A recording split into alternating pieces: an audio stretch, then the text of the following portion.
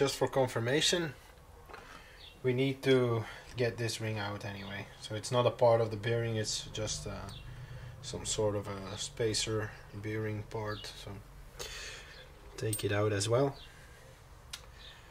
We already removed these two bolts. This fork needs to be removed as well. It's also a size 13.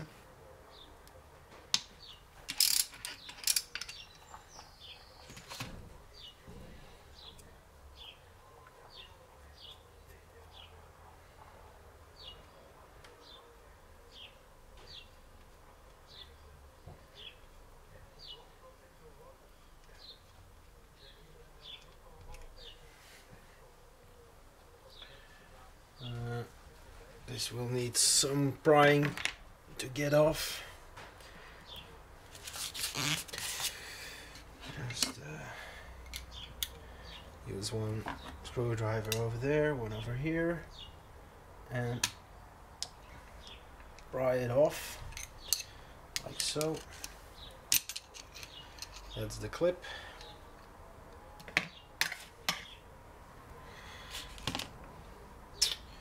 Next, there should be a ring holding this in place.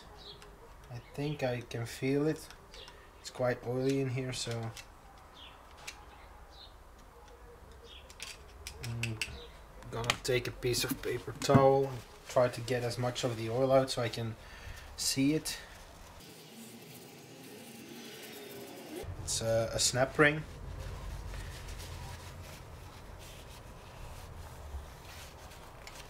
I'm gonna show it to you guys real quick. So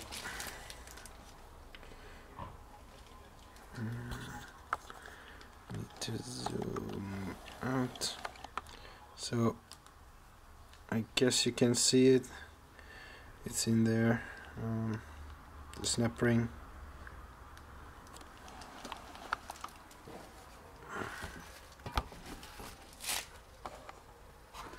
We need to get that out.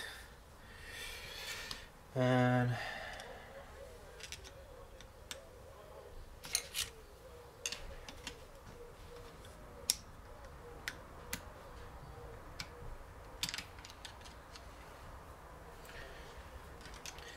you would need an extra pair of hands.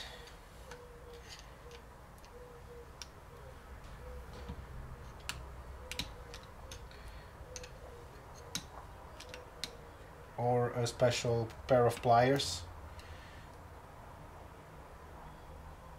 You can buy special pliers to do this kind of job. This should work as well. Yep, that's one side. Just gently pry it out. That's it.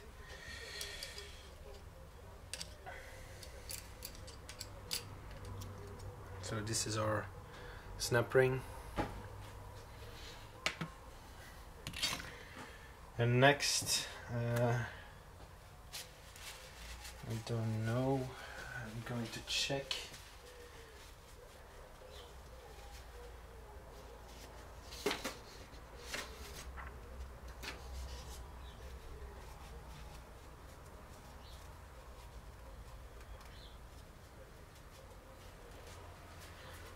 Okay, so now this block should be able to detach from the lower half I'm going to remove the mounting bracket.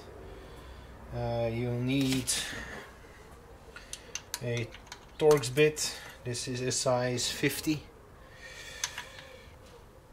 Um, if you have a bit, you can use an impact wrench or a, a wrench like this, but I don't have bits that size, so I just uh, use an old trick and I do it like this. That's one.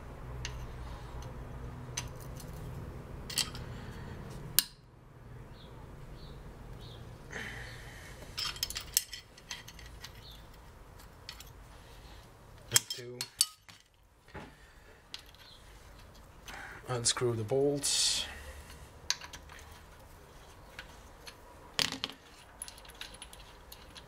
There's one over here as well. So three bolts.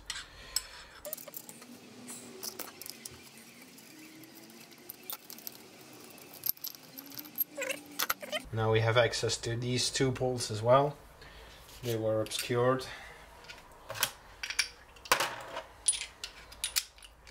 So that's a whole lot of bolts to undo right now. Some pressure.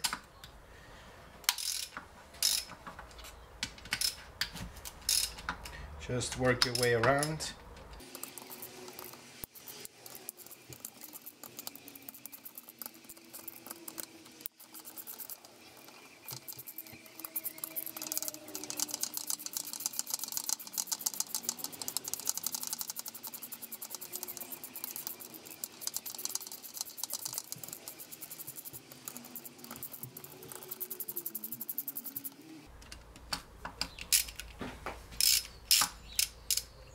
On this side there is two uh, bolts which have a, a, piece of stud on it.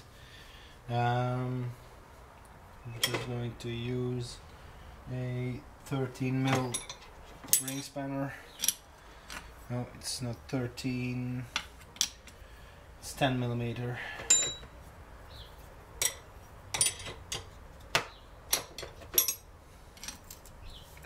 Mm, 11. Yeah, it's 11 millimeter.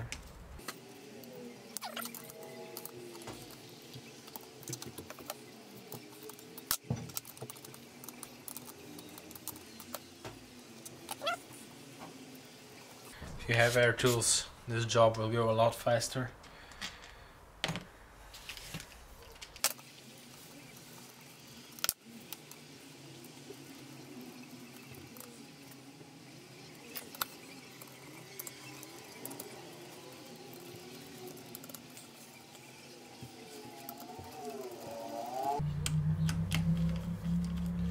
So the entire gearbox is sealed with uh, RTV so there shouldn't be a seal uh, anywhere on the mating surfaces.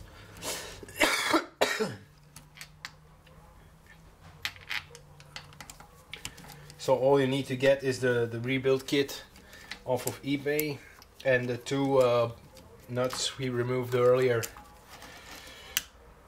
And I didn't know about that, but I will go to the garage and, and order some new ones. Okay, that should be all.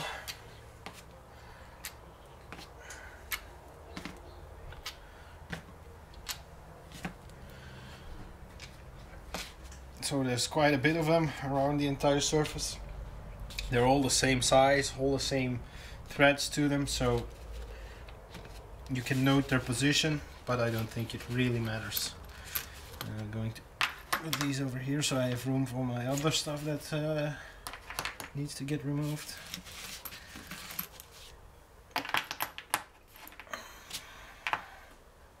Okay, so check real quick if I have all the bolts I need. Um, seems like it because there is one on the side here as well. I think it's uh, the I don't know. The one over here, by the way, this is a the, the this is not the fill plug because you fill the gearbox through the breather.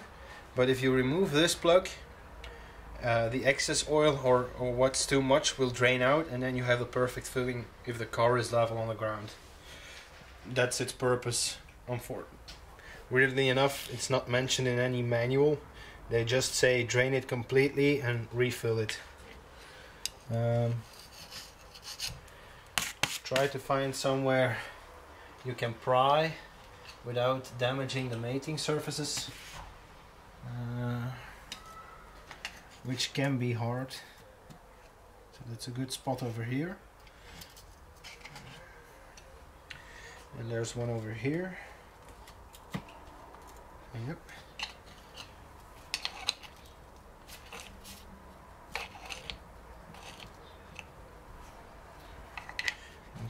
this as well. Yep, a little bit of prying.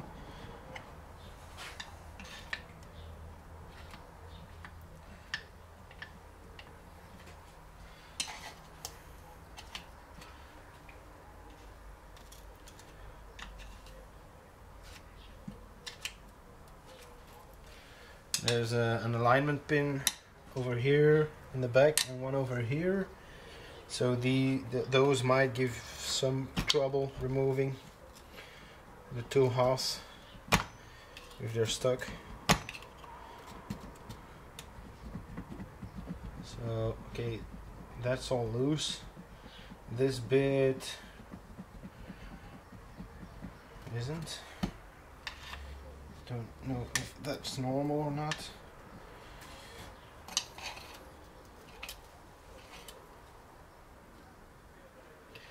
So I'm thinking this one bolt over here is giving me some trouble. Yes, you need to remove it. So I'm gonna show it to you guys. I overlooked it in the on the manual, but so this is the one over here. You need to remove that bolt as well. So I'm gonna do this right now.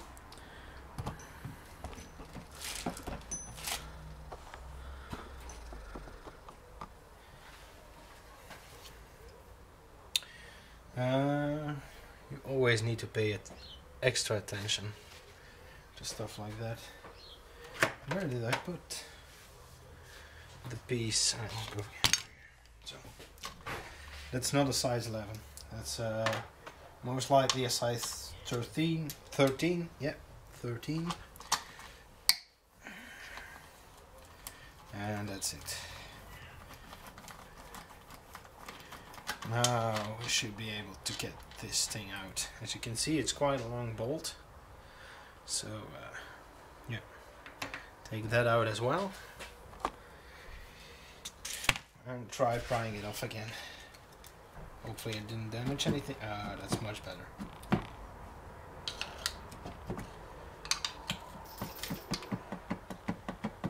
It seems like it's completely separated.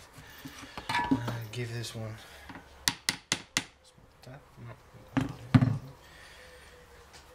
Let's see.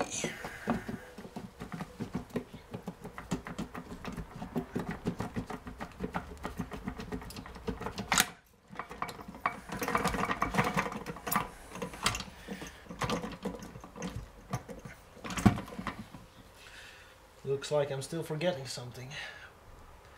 But what could it be?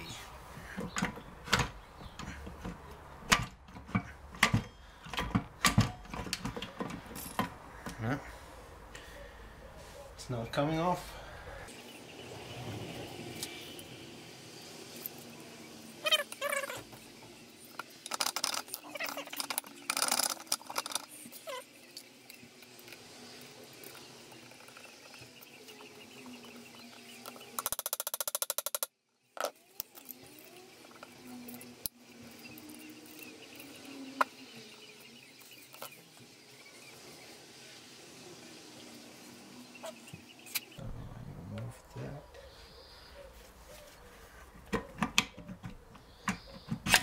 Ah, okay.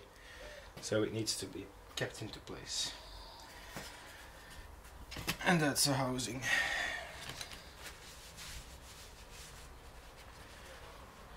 So I did chip one tooth over here, unfortunately. I don't think it'll be a big deal. Anyways.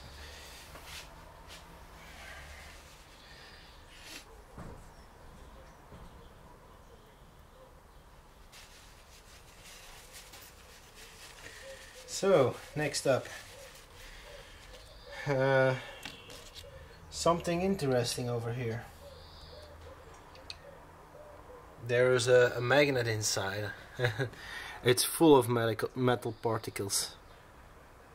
Just really full of them. Um, I guess it's this is quite normal. I'm not too sure. Um, the teeth, the teeth do look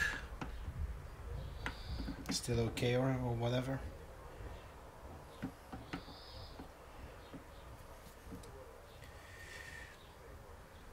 We'll have to inspect them once we get everything out.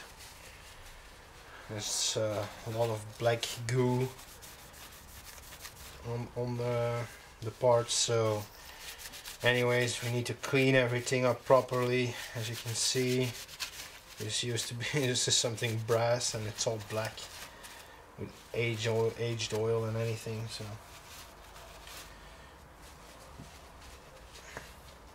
We're gonna clean it out and get everything nice and tidy again. So like I said I had new bearings uh, there's one over here this is a bearing uh, it's shot I believe.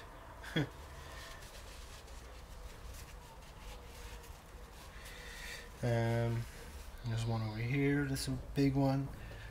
There should be somewhere in the center should be some one. We'll see later on.